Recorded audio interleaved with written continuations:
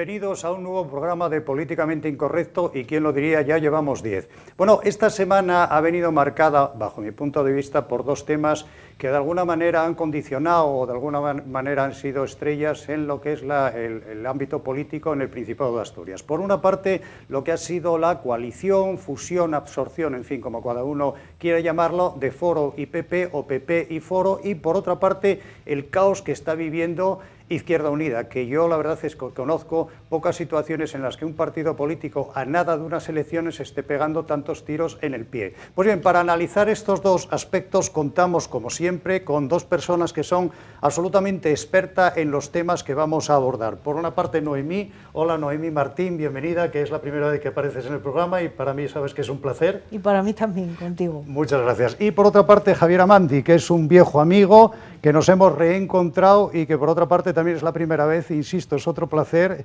y bienvenido, Javier. Lo mismo te digo. Bueno, como seguramente ustedes sabrán, Noemí Martín, bueno, tiene muchísimos, muchísimos cargos, pero así, por resumir y destacar, fue diputada de Izquierda Unida en el Parlamento Regional, fue portavoz de Izquierda Unida en el Parlamento Regional, fue ni más ni menos que consejera de Bienestar eh, Social y Vivienda en el Principado de Asturias y secretaria general del Partido Comunista.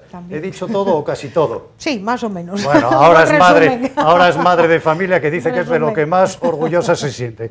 Y por otra parte, Javier, pues eh, lo mismo, los cargos de Javier son también cuantiosos, pero por resumir, diremos que fue también diputado regional por el Partido Popular, fue portavoz parlamentario del Partido Popular, presidente del Partido Popular en Langreo y también fue, y aquí también viene lo que es la, eh, identidad, digamos que podríamos decir con Noemí, fue viceconsejero en el gobierno de Sergio Marqués de Bienestar Social. Es así, Javier. Correcto. Bueno, pues eh, amigas y amigos, sin más, vamos a abordar el primero de los temas, porque yo creo que es lo que interesa y donde está la enjundia. Bueno, como saben, esta semana eh, el presidente del Partido Popular, el señor Casado, vino a Asturias y firmó un acuerdo con la presidenta de Foro, la señora Morillón, un acuerdo en virtud del cual en fin, y dejando al lado la literatura que podría dar que hablar, pero yo creo que es, insisto, lo de menos, en esencia lo que ha conseguido Foro es ir en el número dos de las listas al Congreso y conseguir un puesto también para el Senado. Y bueno, mm, bajo mi punto de vista, y aquí ya la primera pregunta, si me permites, Noemí, vamos a entrevistar en primer lugar a Javier, vamos a hacer la primera pregunta a Javier, porque Javier de esto conoce algo. ¿no? Yo te quería preguntar, a, eh, Javier, como conocedor de los entresijos del PP y de Foro, de la derecha en general, ¿tú crees que este ha sido un buen acuerdo o, por el contrario, ha sido un gol por la escuadra que ha metido cascos a Casado? Bueno, primero decir que yo ahora mismo no estoy en, el PP, ni hablo en nombre del PP, naturalmente. Eh, a título personal, puedo dar mi opinión, que, es la siguiente. Creo que este es un magnífico acuerdo para Foro. ¿Por qué? Porque, según mi opinión, Foro por sí mismo no creo que sacase en las próximas elecciones ningún diputado. Y, sin embargo, va a sacar uno gracias al PP que posiblemente lo pierda. Entonces me parece que es un acuerdo mm, totalmente favorable a, a foro.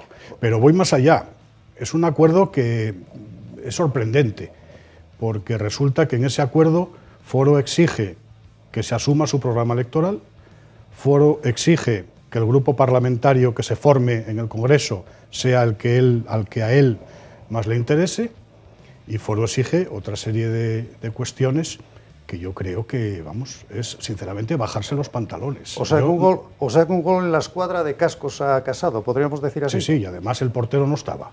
Bueno, como decía el otro, sí se las ponían, ¿eh? a Di Stefano no, que era muy bueno. Noemí, de este acuerdo, ¿tú crees que este acuerdo aporta algo a la derecha o, como ha dicho Adrián Barbón, no aporta nada porque no suma?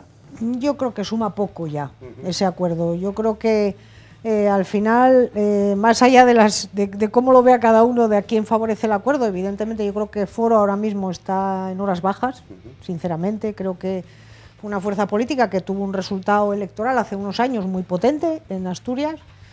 También es verdad que tiene la alcaldía de Gijón porque la izquierda no se puso de acuerdo, todo hay que decirlo, pero yo creo, y desde una visión un poco lejana también ya de la, de la actividad política diaria, yo sí creo que al final eh, sumar suma poco. Otra cosa es que cada uno haya obtenido de ese acuerdo el beneficio que, haya entendido y en este caso bueno puede ser que efectivamente una fuerza política que está en una situación yo creo que ya de, disminución importante de apoyo electoral, bueno, pues haya conseguido su espacio dentro de las listas del, PP. No, no cabe duda que es un gran gol, por eso decíamos lo del calificativo, eufemísticamente, de, lo de gol.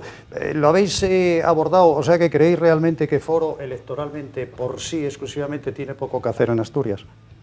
Yo creo que sí, pero bueno, eso serán los electores quien tenga que decirlo. No, pero bueno, por eso ya lo sé, pero os pido la opinión, eso ya se verá, pero... En todo caso, yo creo que Foro ahora mismo ya no es lo que fue en su momento. ¿eh? Y, bueno, este diputado que va a, ganar, si es que sacan dos, la coalición, pues eh, será gracias al PP, naturalmente. Y si no, ¿por qué Foro no quiere hacer coalición para las autonómicas? Eso pregunto, ¿por qué no? Ah. ¿O es que vendrá luego la coalición para las autonómicas? Mm, ¿Cómo lo no, no, si es que ya lo han dicho, que es la coalición es ahora para las generales. Bueno, pero ya sabes que lo que lo lógico es entonces que hubieran firmado un acuerdo ahora para todas las elecciones. Y no, no, yo creo que las autonómicas, por lo que dicen por ahí, irán solos, porque creen que van a sacar más con doña Carmen Boriñón de cabeza, y entonces eh, ahí sí que no quieren repartir nada con, con el PP. Bueno, a mí me parece vergonzoso, sinceramente. Eh, Como exmilitante del PP, a mí me parece vergonzoso. Bueno, yo quería preguntaros al hilo de lo que está diciendo Javier, es que ocurre en el, en el Partido Popular, está ocurriendo una cosa que a mí, yo no sé si es vergonzoso, pero al menos sí que es sorprendente, ¿no? Yo creo que estamos asistiendo a una moción de censura claro, clara y evidente de Madrid, del Partido Popular de Madrid al Partido Popular de Asturias, porque viven una situación bastante kafkiana. Por una parte, eh, eligen a Mayada en contra de Cherines. Por otra parte, en lo que es el acuerdo con Foro, resulta que Cherines dice que sí y Mayada dijo que no, y en esto viene casado y no hace ni caso ni a una ni a otro y hace un poco lo que, lo que le apetece. ¿no? Esta especie de dictadura de los partidos, desde lo que diga la dirección central a la dirección, digamos, regional, bueno, tú de eso en Izquierda Unida, aparte del PP, también se vive, ¿no? Sí, sí, lo que pasa es que yo creo que se vive de una manera un poco menos descarada que en el PP, es decir, en Izquierda Unida. ¿eh? Puede haber conflictos que los tenemos y luego probablemente hablaremos de ellos, pero yo creo que Izquierda Unida probablemente lo que le pasa es que debate demasiado muchas veces y ese es el problema que a veces tenemos de fondo. ¿no? Es decir, yo mm, no comparto eh, el dedo que dirige y manda desde Madrid, sea lo haga quien lo haga y yo creo que en el caso del PP fue clarísimo, es decir, vino Casado y dijo la candidata va a ser eh, Mayada, ¿vale? Eh, bueno, eso a mí me parece que es difícil de llevar porque yo creo que hay que respetar también un poco la organización de Asturias y lo que piensa esa organización de Asturias, más allá de que luego la influencia de las organizaciones a nivel federal es, eh, eh, vamos, inevitable. Eso, eso pasa en el PP y pasa en otras organizaciones, lógicamente. Pero yo sí creo que bueno, la, llegada de, Pablo Casado a Asturias fue triunfal.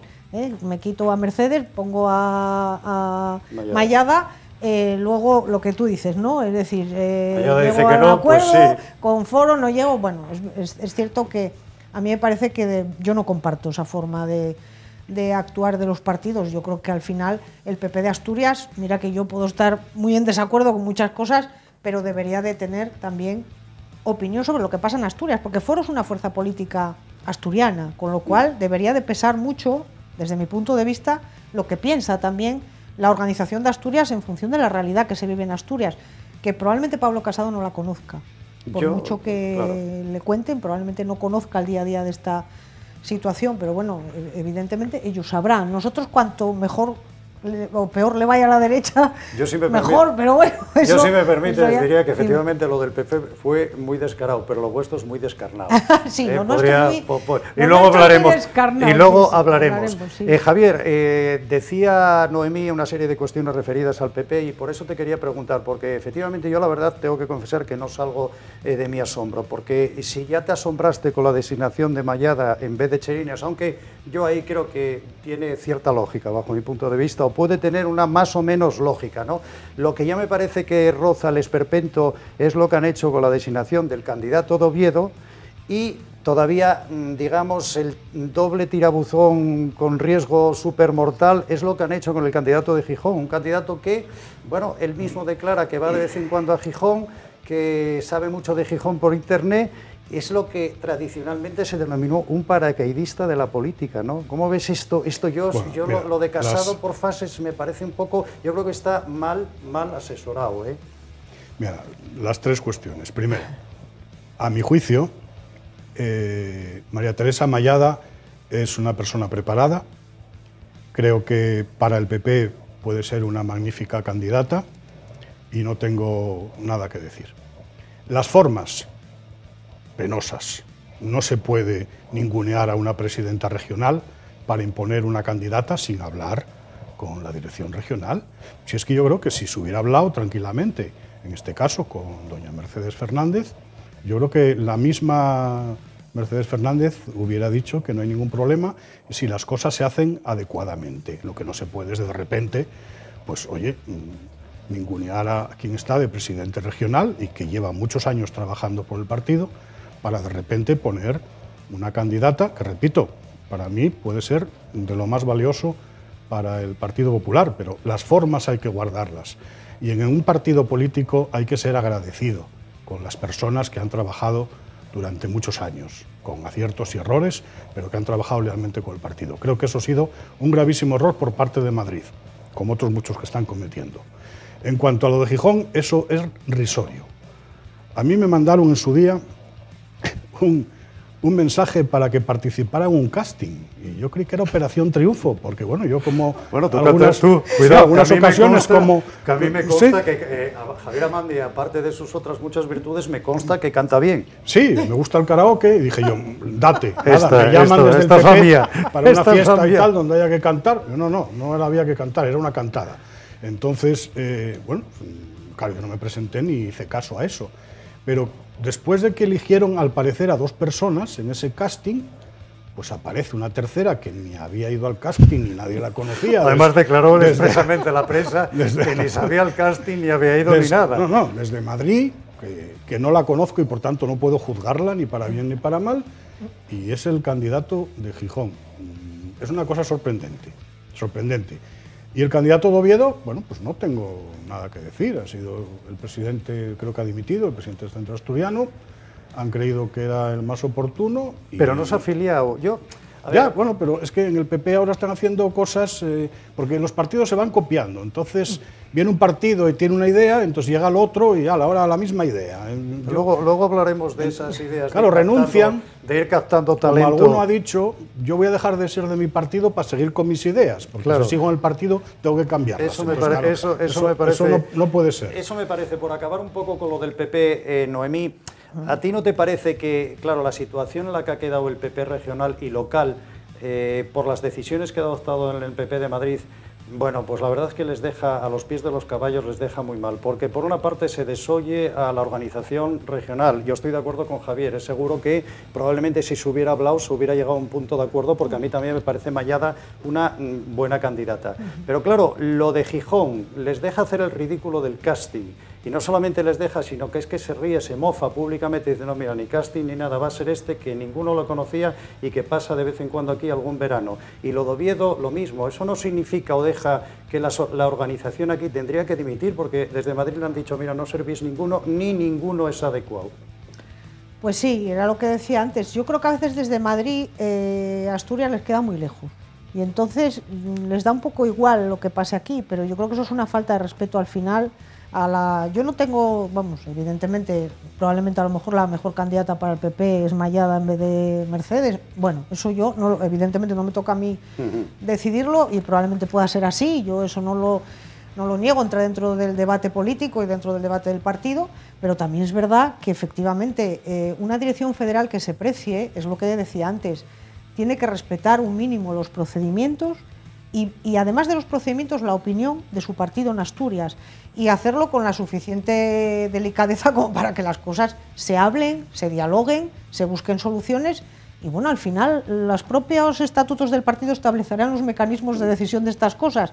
Me parece que en el PP no lo sé, no lo conozco. Deben de ratificar las candidaturas en el órgano estatal. Pues bueno, pues ahí tienes una opción para decir, oye, si al final no conseguí lo que quiero, el órgano estatal va a decidir lo que Bueno, o por lo menos oportuno, haberles, ¿no? parado, Pero- haberles parado un poco la tontería esta Pero, del casting, el bueno, ridículo. sí, A ver, sí. y, y una cuestión, todo esto, perdonaría, os lo pregunto a los dos.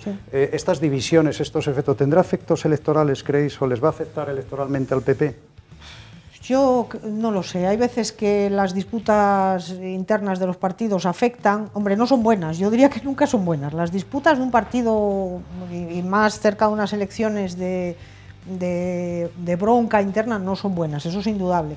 Otra cosa es que no siempre al final afecta al resultado electoral, ¿eh? porque a los hechos nos podemos remitir. ¿eh? Yo creo que a veces hay situaciones internas muy complicadas y a la hora de, de ir a unas elecciones tampoco se pagan de una manera tan bueno, como podríamos pensar, tan importante. ¿eh? ¿Y tú, Javier, opinas que va a tener un coste electoral? Yo creo que sí, porque los ciudadanos, una de las cosas que odian es la división. Sí, pero...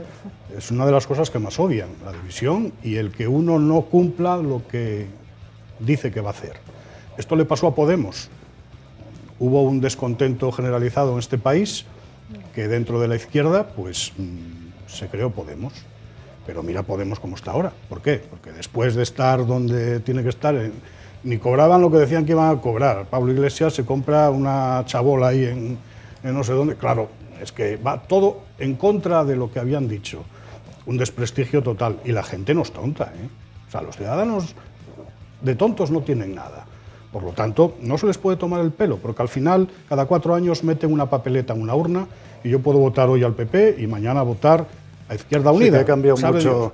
Bueno, pues yo creo que vamos a dar por cerrado ya este capítulo del PP, pero bueno, como a mí me gusta mojarme, no quiero quedar aquí en una situación intermedia. Yo creo que ya me he mojado con las preguntas y con los comentarios. En cualquier caso, yo, eh, por ser escueto y sintético, tengo que decir, bajo mi punto de vista, y es una persona a la que me parece muy válido desde el punto de vista político, pero en Asturias, en algunas decisiones, Casado realmente se ha equivocado. Yo creo que se ha equivocado y, mm, bueno, lo lamento, insisto, porque me parece que es un buen político, pero aquí en Asturias, alguien le ha mal asesorado, un grupúsculo quizás le ha introducido en determinados eh, aspectos que no se corresponden con la realidad y lamentablemente yo tengo que decir eso. Bueno, dicho lo cual, si lo del PP es descarado, antes decíamos que lo de Izquierda Unida es descarnado.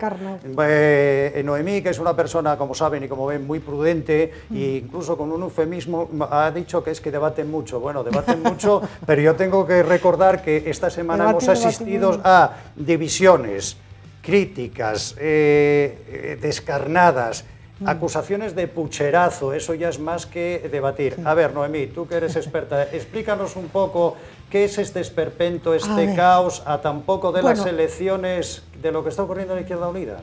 Bueno, yo creo que, a ver, Izquierda Unida, mm, yo decía antes que debatimos mucho, eso es verdad. Eh, me parece que tenemos un problema que además nos acompaña en nuestra historia, en nuestra trayectoria, y que además yo lo lamento porque al final probablemente todas estas disputas tapen lo que es un trabajo y una trayectoria de esta fuerza política. Yo siempre dije que cada vez que salía Izquierda Unida en la primera página de un periódico, no era para nada bueno. ¿vale? Si, si hacíamos algo bien, no íbamos a estar en la primera página de un periódico. Siempre lo dije. Entonces yo cada vez que veo un periódico o abro, ¿eh? o abro una noticia de la radio o de la televisión con Izquierda Unida en primer plano, dije, malo, aquí ya alarmamos, alarmamos, ¿vale? Entonces, yo eh, creo que somos expertos, desgraciadamente, en armar estos, estos debates, estas diferencias, estas broncas y además de forma pública y además en momentos que no son mm, los mejores momentos. ¿vale? Yo siempre soy partidaria del debate, siempre soy partidaria de que haya pluralidad en el ámbito de las fuerzas políticas, porque yo soy de las que pienso que en el momento que nos juntamos tres en una mesa vamos a discrepar. Por lo tanto, mm, el estar en una misma fuerza política no quiere decir que no vaya a haber discrepancias, ¿de acuerdo? Y es sano, además. Es sano, debe de haberlas, pero hay que saber mm, gestionarlas. ¿De qué manera? Yo siempre lo pensé eh, y yo participé en muchas disputas y, debates internos de Izquierda Unida. Pero yo sí creo que por respeto, en primer lugar, a los militantes de la organización que se dejan el pellejo todos los días en cada sitio trabajando, y por respeto también a los votantes y a los ciudadanos, quienes tenemos, yo ahora mismo no las tengo, pero las tuve en su momento, quienes tenemos responsabilidades tenemos que evitar por todos los medios hacer daño a ese trabajo. ¿Por qué? Porque una noticia de una bronca de un día tapa, por eso lo digo, tapa todo un trabajo de toda una militancia, de todas las personas que colaboran con el proyecto Izquierda Unida, que trabajan en los ayuntamientos, en los grandes y en los pequeños, en los que se están dejando el pellejo para sacar adelante el trabajo. Y esto que tú dices que pasó esta semana, eso tapa todo eso. Y a mí me parece que es muy injusto con la militancia, con los simpatizantes, con los militantes y también con los votantes, que a veces se agotan de ver estas, estas disputas. Bueno, perdona, Noemí, yo creo que es evidente que es una pena que Noemí no esté en la política activa y ahora en Izquierda Unida, que yo creo que te necesitan más que nunca. Javier, eh, eh, habíamos pensado, yo por lo menos había, había pensado que con la salida de Llamazares el problema más o menos estaría revuelto, pero, eh, resuelto, pero no solamente no está resuelto, sino que se ha acrecentado. Por lo tanto, yo creo que eh, Llamazares no era eh, la causa, sino que es una de las consecuencias ¿no? derivadas de la crisis que tiene tan profunda Izquierda Unida. ¿no? Sí, entre otras cosas porque bueno, su coalición con Podemos también ha hecho bastante pupa, no solamente aquí, sino en otros sitios. En Castilla y León, el alcalde de Zamora es de Izquierda Unida. Yo viví allí hasta hace unos días, entonces conozco, conozco bien el tema. Allí quieren ir separados, han tenido muchos problemas y, y lo que decía Noemí, mm, un partido, si hace las cosas bien, una sola noticia echa por tierra ese trabajo realizado. Lo bueno suele ser noticia a veces solo, pero lo malo es noticia siempre, y además primera página. Y con eso hay que tener eh, cuidado. Con respecto a Aspar y Amazares, yo lo único que puedo decir es que lo conozco personalmente, ya de la época de la Facultad de Medicina, mm, discrepo con él mm, profundamente, profundamente. Pero siempre me ha parecido una persona honesta. Es mi percepción personal. ¿eh? Oye, no tengo otra cosa que decir.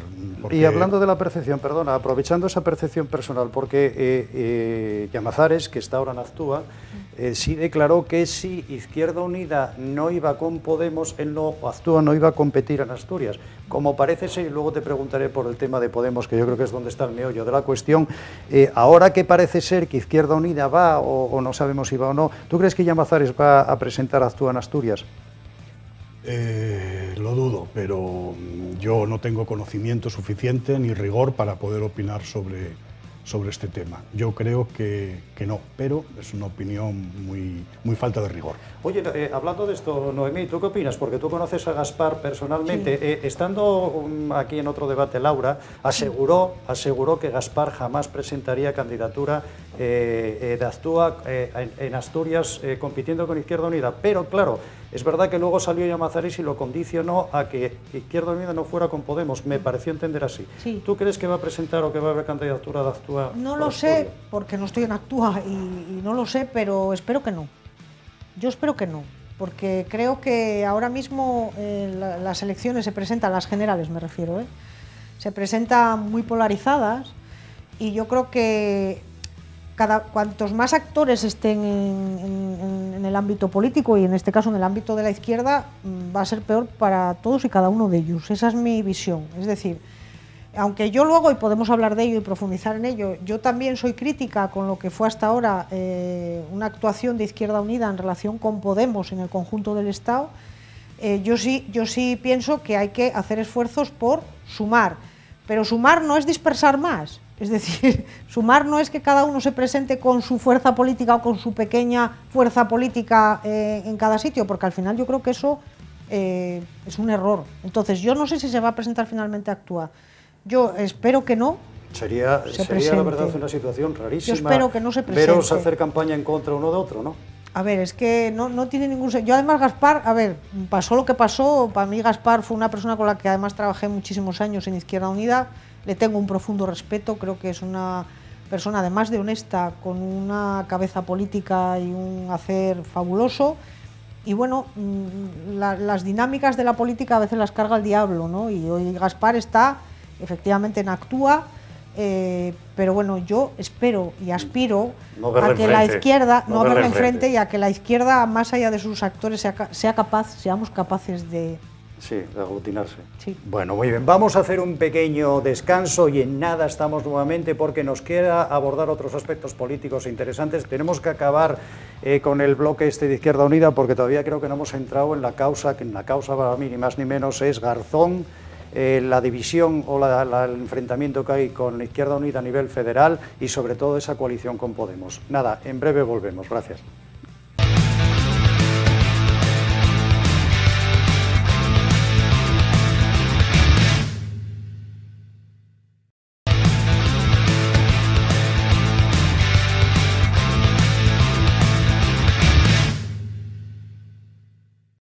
Hola nuevamente, estamos eh, con Noemí Martín y mira Noemí, te voy a ser sincero, vamos a dejarnos de paños calientes. Yo te voy a decir lo que yo creo y tú me lo dices si lo estás de acuerdo o no. Yo creo que todo el problema que tiene Izquierda Unida, todas este, estas eh, trifulcas que son absolutamente sorprendentes, incluso yo diría esperpénticas, vienen originadas porque Garzón desde Madrid quiere imponer Asturias, que es una organización seria, la única que probablemente quede con consistencia de Izquierda Unida en España, quiere imponer sí o sí la coalición con Podemos. Y yo te voy a decir más. Yo creo que lo quiere imponer porque él quiere salvar su puesto en Madrid. Y como quiere salvar su puesto en Madrid, Madrid Podemos ha dicho sí, pero en Asturias también. Y esto es el origen, que vosotros decís que no, pero él dice que sí, y al final va a ser que sí. A ver, mm, yo creo que Garzón tiene una estrategia muy clara, que es el acuerdo bajo qué condiciones, ahí es donde yo discrepo con Podemos, eh, esté por encima de otras consideraciones. También hay que tener en cuenta una cosa, la realidad de Izquierda Unida de Asturias no tiene nada que ver probablemente con la realidad de Izquierda Unida del resto del Estado. Claro, ¿eh? lo que pasaba antes con el PP. Claro, aquí tenemos una, aparte de una trayectoria política muy importante, tenemos una presencia muy importante en las alcaldías, en los municipios de Asturias y tenemos un grupo parlamentario de cinco diputados hasta ahora. ¿no? Eh, y probablemente lo que quiere es que esa estrategia eh, se extienda al conjunto del Estado y evidentemente en Asturias, llevamos diciendo desde hace tiempo, los militantes lo votaron además, que no es que no nos neguemos al acuerdo con otras fuerzas políticas del ámbito de la izquierda, pero lo que sí nos negamos es a pretender que Izquierda Unida desaparezca, eh, se diluya en una fuerza política como puede ser la de Podemos o a través de una coalición en la que nosotros no tengamos ninguna representación y prácticamente estemos diluidos, cuando nosotros en Asturias tenemos, insisto, una trayectoria, una historia, una forma de actuar, una presencia y un peso político. Y nosotros lo que pretendemos desde Asturias no es decir, no queremos acuerdos con Podemos, no. Busquémoslos, pero busquémoslos equitativamente, y vamos a hablar de, lo que es de tú a tú y al mismo nivel, ¿vale? Eh, independientemente de que luego, evidentemente, Podemos tuvo un resultado electoral en su momento, vamos a ver qué pasa ahora, muy importante, un crecimiento muy importante que yo creo que fue el principio, mm, no sé si del fin, pero sí de la decadencia, porque a veces las cosas que suben tan rápido, eh, si no la sabes gestionar bien y no lo asimilas bien, el problema es que, igual que sube rápido, también. O sea que si, me permites ser tu traductor y tu. Bueno, yo es que sabes que soy. Sí, tú ya sé cómo eres, que eres una bellísima persona y además lo trasluce. Y Clara, también Clara, pero con una bondad exquisita. Yo tendría que decir que la culpa la tiene Garzón, porque Garzón quiere imponer en Asturias algo que Asturias no quiere, que además es perjudicial para Asturias, aunque sea bueno para él. Eh, Javier, dicho lo cual, ¿tú qué opinas de Podemos? ¿Tú crees que estamos en un paralelismo eh, Izquierda Unida en Asturias, Izquierda Unida Podemos como PP Foro? Es decir, ¿no crees que desde Madrid mm, están dando demasiado alza a Podemos cuando es una fuerza que seguramente está a la baja? ¿No ves a Podemos a la baja? Es que yo creo que, mm, que, como sigan así va a fagocitar a Izquierda Unida. Yo creo que, que Podemos, que tenía también una estrategia muy clara a través de aquella, aquel espejo que fue el, 15M. Pero claro, cuando uno dice una cosa y después hace exactamente la contraria, cuando está en el sitio donde hay que demostrar lo que uno dice y cumplir, pues entonces pasa lo que pasa. Y como bien dice Noemí, Podemos estar de capa caída a nivel nacional. Y claro, que quieran ahora aquí en Asturias pues hacer algo no sé, para... Y, con dimisiones, ¿no? Porque además a Podemos le han dimitido a, nivel nacional, pero también en Asturias... Lo de, mira, lo de, Podemos es algo para echar de comer aparte. Comentábamos eh, fuera de, antena, la candidata de Ávila de Podemos ha sido una persona condenada por asesinato, 30 años, que cumplió 7, y es la candidata, y no pasa nada. O sea, y estos señores van a darnos al resto de españoles eh, lecciones de limpieza y transparencia y honestidad. Es que estas cosas eh, no se pueden comprender. O lo que dije antes, es decir, ¿cuántos españoles se pueden permitir el lujo de comprar un chalenga a pagar? Pues muy pocos. Bueno, y salir de la noche a la mañana de Vallecas o de, esta zona y, irse de la noche a la mañana a la sierra madrileña. No, muy pocos y después, bueno, ahora ya están intentando cambiar el discurso, pero bueno, obviamente su ejemplo era el, el ínclito este Maduro, ¿no?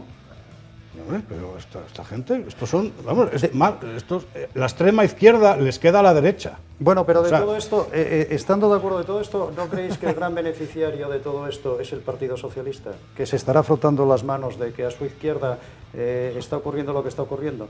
Sí, hombre, a ver, cuanta mayor división haya en el ámbito de la izquierda, la izquierda del PSOE, más favorecido va a salir el, el Partido Socialista. Yo creo, a ver, mm, yo creo que Podemos lo que le, lo que le pasa, y lo comentábamos antes, yo sobre todo cuando de la política muchas veces se hacen gestos, exclusivamente gestos. Yo soy de las que pienso que la política mm, merece un debate de fondo y merece que los debates sean profundos, sean argumentados.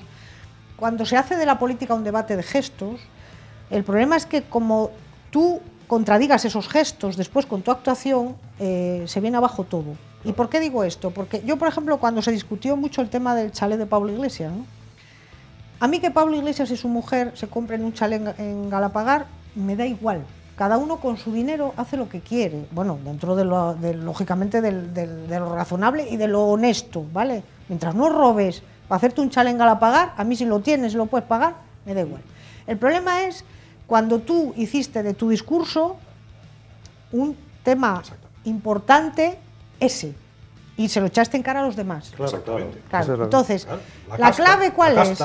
Que cuando tú hablas de la casta y te quedas exclusivamente en, el, en, las, en, las, formas, en los símbolos, cuando tú al final haces algo que en el fondo no tiene por qué pasar nada, o al menos yo así lo pienso, cada uno con su vida dentro de la honestidad hace lo que quiere, pues claro, evidentemente te dicen, oiga, usted pudo hacer muchos debates buenísimos en el Parlamento, incluso obtener planteamientos que yo puedo compartir, yo, por ejemplo, en, muchos temas, evidentemente, están en un ámbito muy similar y muchos provienen del ámbito de Izquierda Unida. Pero cuando tú te quedas en la política con los símbolos y tú haces de eso un valor fundamental, cuando, cuando tú también actúas y pierdes la credibilidad, eso se te viene abajo. Entonces yo sí creo que Podemos generó ilusión en su momento en el ámbito de la izquierda, mucha ilusión, que no supo gestionar probablemente porque el crecimiento fue tan, tan fuerte y tan rápido que yo creo que no se asimiló y, que Y, que, básicamente estaba fundamentado en gestos. Hablando de gestos, eh, no sé si se percatan ustedes el color morado del bueno, es que mañana es el 8 de marzo. Ah, no es por Podemos. No. Ah, vale, correcto. Ya por terminar y cerrar, el, cerrar el ciclo de Izquierda Unida rápidamente, es Noemí. Que mañana es 8 de marzo. Mañana es 8 de marzo. Es que esto se graba el jueves, aunque se emite mañana. ¿Pero qué es? ¿Un, día morado? O no es que no entiendo del calendario.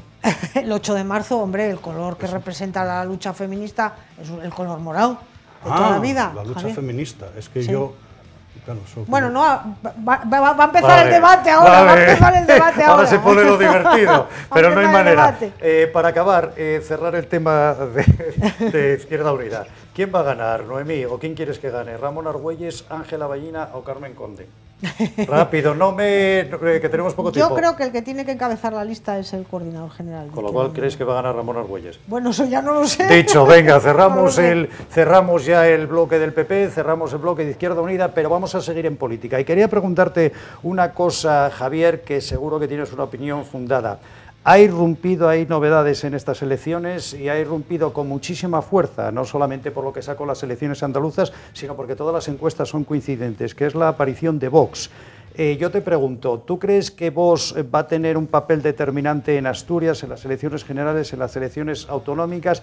¿Va a condicionar el voto? ¿A quién va a perjudicar más? ¿Y cuáles serán sus expectativas electorales bajo tu punto de vista, tu conocimiento, lo que percibes? Radicalmente sí. Vox va a dar el bombazo en Asturias como lo va a dar también a nivel nacional. Cuidado porque va a haber muchas sorpresas. Eh, sobre todo el, el, responsable del CIS es el que, al que le va a dar un infarto el día que se empiecen a contar los votos, porque vamos, en mi vida vi una persona yo creo que es de hielo. Más desastrosa. Yo creo que no le da nada porque es de hielo. ¿Eh? Porque para hacer lo que hizo y no bueno, es de hielo. Sí, yo creo que le va a dar una angina de pecho. Dejémoslo una angina de pecho para que no sea infarto. Por supuesto que sí. Mira, por un motivo.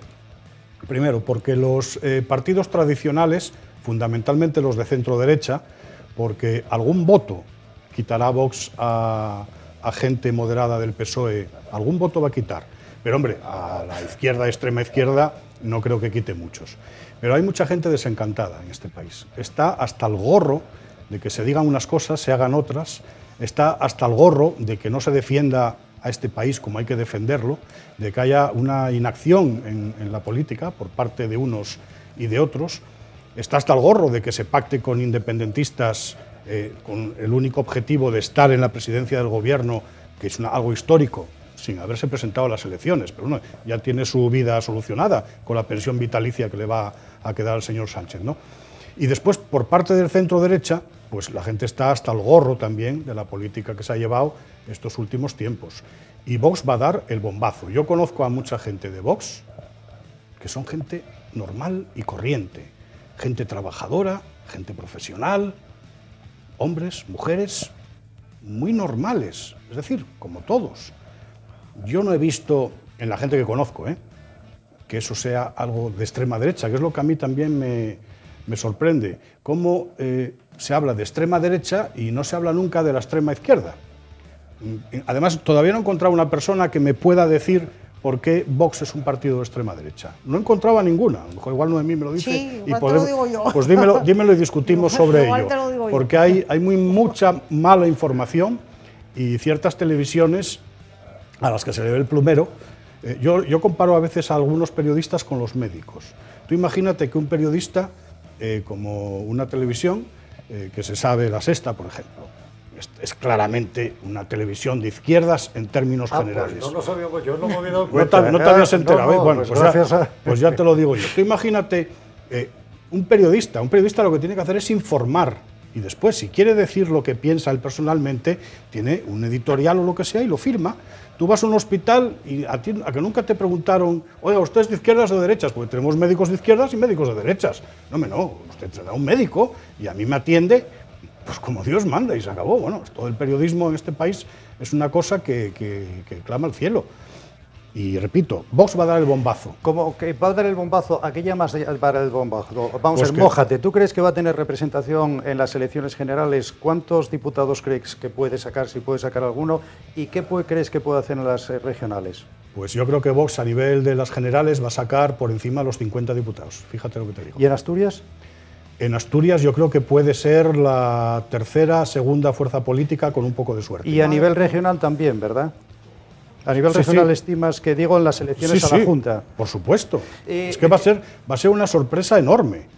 Bueno, pues Porque es que tú vas, mira, yo ahora todos estos días estoy por Oviedo, entonces hablas con mucha gente que te encuentras después de, años, ¿no? De no de no venir por aquí y, yo digo, bueno, o me están mintiendo porque no viene a cuento el ponerse a hablar de estas cosas o, es que, es que aquí va a votar a vos hasta los que Nunca pensarías que iban a votar a Vox. Está, en plena forma, Javier. No, no, Vamos, ahora vamos a. Bueno, pues ya sabemos. Me tienes asustado ahora no te, no, no, te, asustes, no, no te voy a. No, yo te voy a decir. Eh, déjame que me moje. Noemí no va a votar a Vox. Déjame que. No, no, eso lo tengo más déjame, claro que el agua. Noemí, déjame, déjame, que me, déjame que me moje. Yo, mm, bueno, he indagado por razones, eh, lógicamente a mí, sinceramente, voy a, hacer, voy a hacer una declaración casi de principios.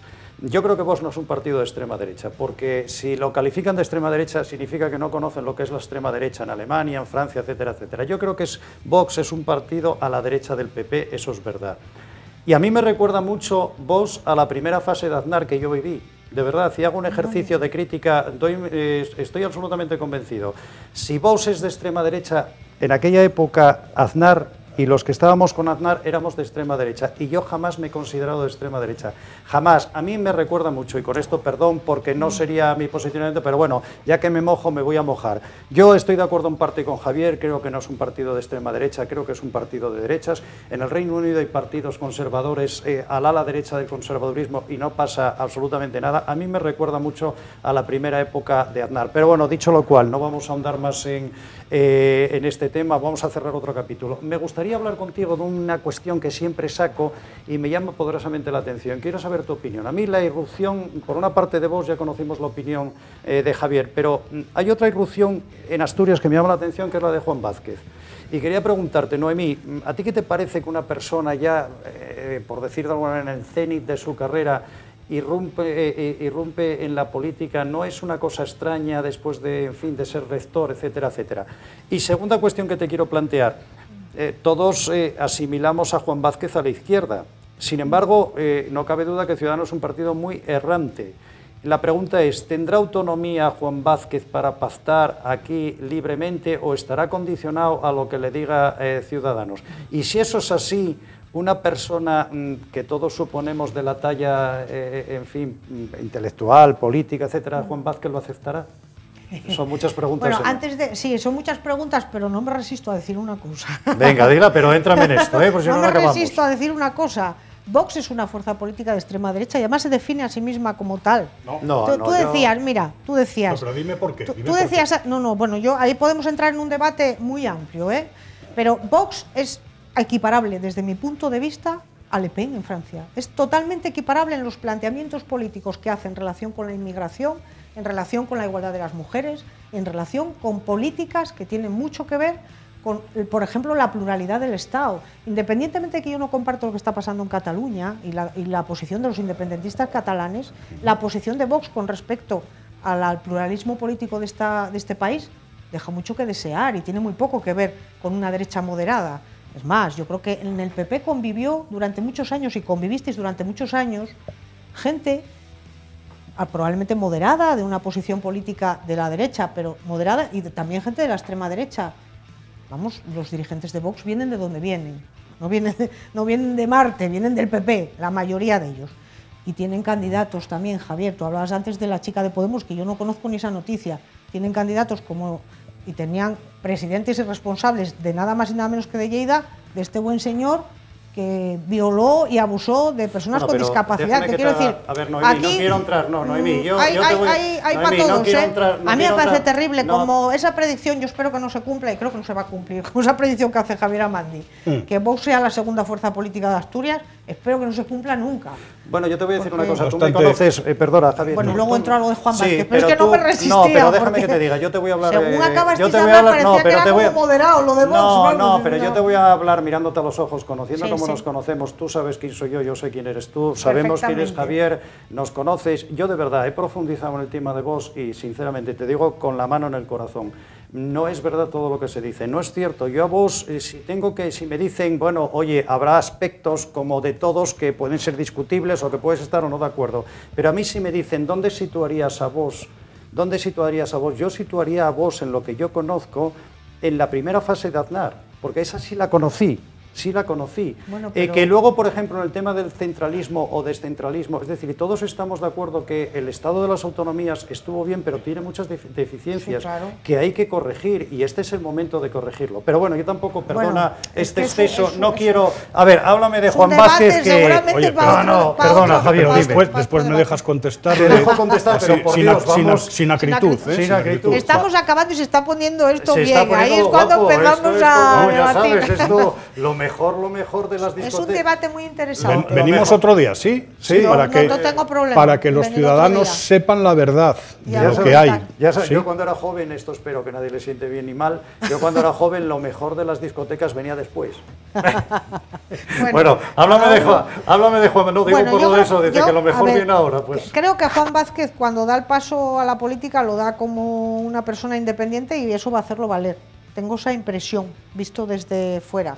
También es verdad que cuando uno va, bajo unas siglas, también tiene que aceptar que esas siglas también tienen algo que decir, porque es que si no al final, yo siempre lo digo, a ver, los independientes en política están muy bien, eh, pero lógicamente también cuando vas bajo unas siglas, aunque sea como independiente, bueno, la organización yo creo que es la que también tiene que fijar las directrices, las orientaciones. Yo soy muy orgánica, llevo toda la vida militando en una organización y creo que eso es básico, ¿eh? digo, para que no se convierta en una locura todo. Yo creo, así todo, conociendo un poco, que tampoco es que lo conozca tanto, pero lo que las referencias que tengo yo de Juan Vázquez, de cuando fue rector, al final, yo creo que va a hacer valer esa independencia creo que va a hacer valer. Vale, un minuto para contestar rápidamente a Noemí y ya despedimos porque, eso sí, me comprometo y os comprometo casi a que vengamos a debatir el tema este de la derecha. Sí, sí. Termina, Javier, rápido. Simplemente, dos cosas en el tema autonómico. Una cosa es el tema autonómico y otra cosa son competencias de sanidad y educación que yo creo que es un desbarajuste, que tú pases el Pajares y ya hay una educación distinta, y una sanidad distinta, vayas a Cataluña sea distinta, en Andalucía sea distinta, esto no tiene ni pies ni cabeza en un país que se llama España.